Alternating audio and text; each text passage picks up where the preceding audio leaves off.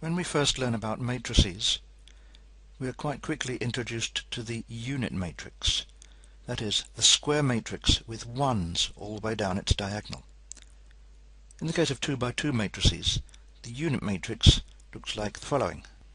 We usually give it the name I, and if there is any doubt, we also put a suffix on to say that it's 2 by 2 in this case, I2. It's just the matrix with ones on the leading diagonal and zeros elsewhere. We soon learn that the unit matrix is equivalent to the number 1 in num multiplying ordinary numbers. So we can draw some analogies. For example, with ordinary numbers, x times 1 is the same as 1 times x, and it's the same value x. In a similar way, for matrices, I2 times a 2 by 2 matrix M is the same as M times I2, and the m is left unchanged. Similarly with ordinary numbers, plus or minus 1 squared is again 1, and a quick check will show you that plus or minus i2 squared gives us back i2.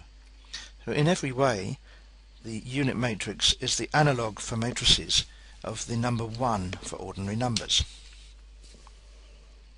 I'd now like you to consider the following matrix. Let's call it A, and let's take 0, 1, negative 1, 0. What's special about this matrix? Well, let's look at A squared. That's 0, 1, negative 1, 0. 0, 1, negative 1, 0. And if we do our matrix multiplication the usual way, we get first row times first column, 0 times 0 plus 1 times negative 1. Then for the next term across, 0 times 1 plus 1 times 0. Then another 0, and then finally a negative 1 again. What is that matrix on the right? Well, it's minus I2. We found a matrix A whose square is the negative of the identity matrix. For ordinary numbers, the number whose square is minus the identity is the complex unit that we call either I or J. I'll use J here. It sort of looks as though if the unit matrix is the analogue of 1 for ordinary multiplication, then our matrix A, which is 0, 1, negative 1, 0, might be the analogue of J. If that was the case, then we could find analogues for complex numbers in general. Let's look, for example, at 2 plus 3j. We might represent it as 2 times I2 plus 3 times A.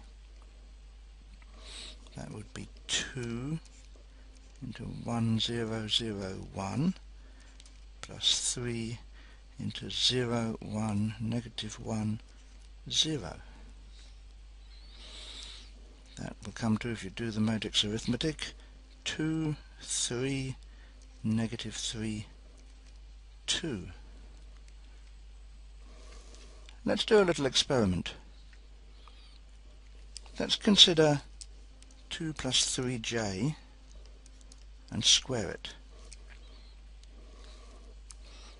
That's 2 plus 3j times 2 plus 3j which comes to 4 plus 6j plus 6j plus 9j squared. And that's 4 plus 12j minus 9 which is negative 5 plus 12j. Now instead let's go back and take our matrix here, this one that we thought might represent 2 plus 3j. Let's square it and see what happens. So 2, 3, negative 3, 2 multiplied by itself. What do we get with matrix multiplication? 4 minus 9, 6 plus 6, negative 6 minus 6, and minus 9 plus 4. Why did I write 3? Let's make it correct.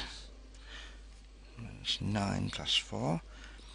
What has happened? Well, negative 5, 12, minus 12, negative 5. Sure enough, that is the same as negative 5 I2 plus 12 of our matrix A. There is the correspondence between the complex number and the matrix. Let's do another little experiment. We've got one representation for 2 plus 3j. Let's pick another complex number. Let's have maybe 6 plus j.